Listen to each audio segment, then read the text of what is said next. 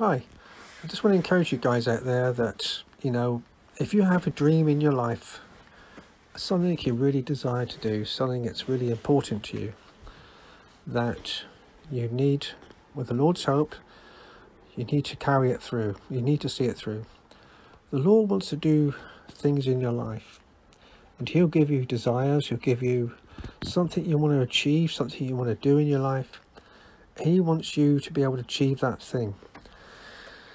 But the thing is, there are many people around who will say that you don't stand a chance of doing it, you're wasting your time. They may laugh at you and put you off. And some people will be put off about the thing that they are dreaming about achieving, are dreaming about doing. God wants to give you the ability to be able to carry out your dream and to achieve what you want to achieve. David, for example, in the Bible, when he went against Goliath, the uh, King Saul said to him, You're just a youth, you're just a boy, you're just nothing, you're little, you're just nothing. And David could have taken it to heart and think, Well, oh, I can't do it then, I'm, I'm no good.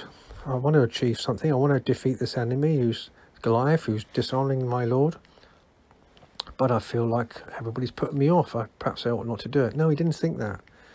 He trusted God even more and gave, and gave Saul reasons why God was going to help him because he killed the bear and the lion that tried to take his sheep away, or his lambs.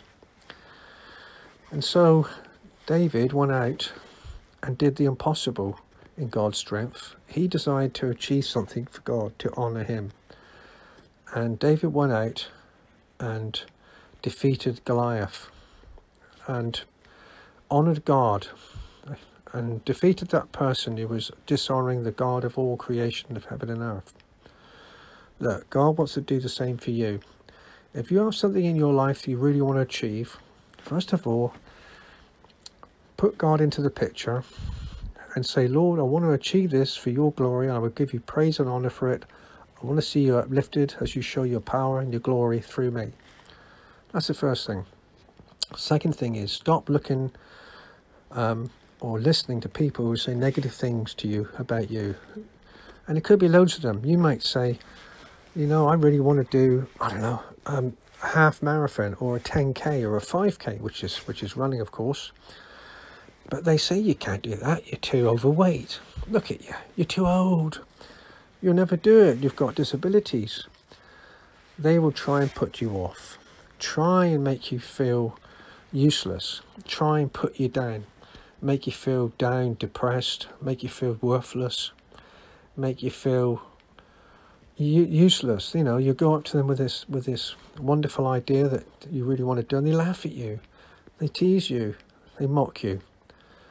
Listen, don't listen to them, because sometimes that's the enemy trying to put you off. What you really, really, really want to do with God and for God. Secondly, if you have a dream, start to make efforts to put yourself in a place to be able to achieve that. Um, seek people's advice of what to do to be able to achieve that dream. Ask the Lord to give you strength. If it's finance, finance. If it's health in some kind of way or ability to run with bad health, then to give you that ability. But in that, think of the glory that God will get through achieving what you did. When I did my 100 mile, I did not do it in my own strength. I wanted to do it in God's strength. I wanted Him to come along and have enjoy it with me and be part of the adventure. And He did, and He helped me most wonderfully. The same too when I did my marathon.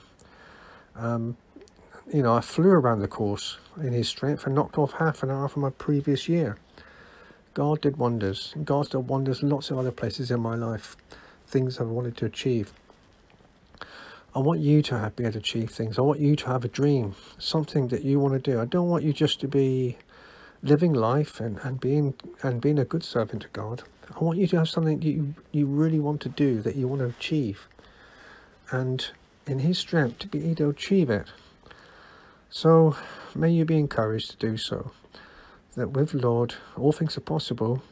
He wants to do something wonderful in your life. Whatever it might be, don't worry about money, your health, disabilities, your size, your shape. Whatever hindrances you may have in your life, don't worry about it. Just give it to God. If it's something you want to do, then ask Him to give you strength to do it, and He will do.